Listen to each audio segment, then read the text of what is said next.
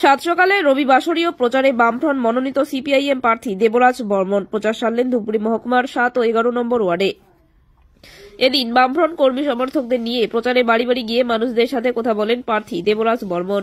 CPIM প্রার্থীকে সামনে পেয়ে তাদের অভাব অভিযোগের কথা তুলে ধরেন ধূপগুড়ির এই দুই ওয়ার্ডের বাসিন্দারা। কৃষি প্রধান এলাকায় রয়েছে বহুমুখী হিমঘরের দাবি, নদী ভাঙনের সমস্যা দীর্ঘদিনের নির্বাচিত পৌরবন না থাকায় পৌর পরিষেবা থেকে বঞ্চিত।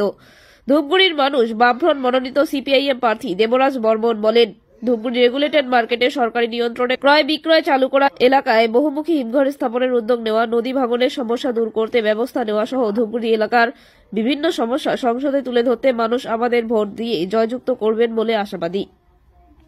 প্রার্থীর সাথে ধূপগুড়িতে প্রচারে অংশ নেন সিপিআইএম জেলা সম্পাদক মণ্ডলীর সদস্য কৌশিক ভট্টাচার্য, প্রাক্তন বিধায়ক মমতা রায়, সারা ভারত কৃষক সভা, জলপাইগুড়ি জেলা সভাপতি প্রাণগোপাল ভাওয়াল যুবনেতা বিলব্রত ঘোষ সহ অন্যান্য পার্টি ও বামফ্রন্টের নেতৃবৃন্দ।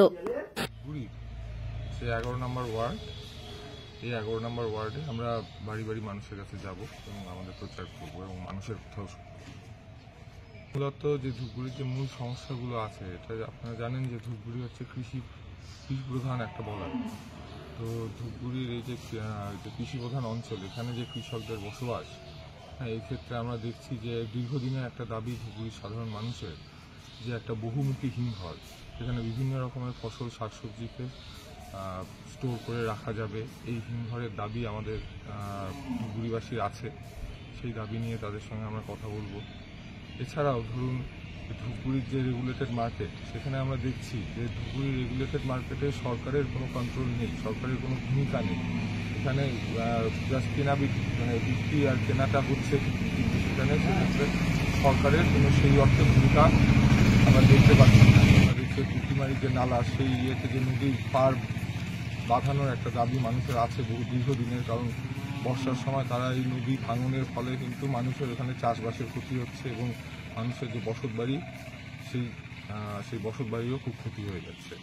এই দাবিগুলো নিয়ে এমনিও যে সার্বিক যে দাবিগুলো যে যেমন কর্মসংস্থান, বেকারত্ব, দ্রব্যমূল্য বৃদ্ধি, সেই সব ব্যাপারগুলোতে যেমন সারা ভারতবর্ষের মানুষ এর দ্বারা প্রভাবিত হচ্ছে, সেরকম ধূপগুড়ির যে সাধারণ জনগণ, তারাও কিন্তু এই ব্যাপারগুলো নিয়ে প্রভাবিত এবং ক্ষতিগ্রস্ত হচ্ছে প্রতিদিনই।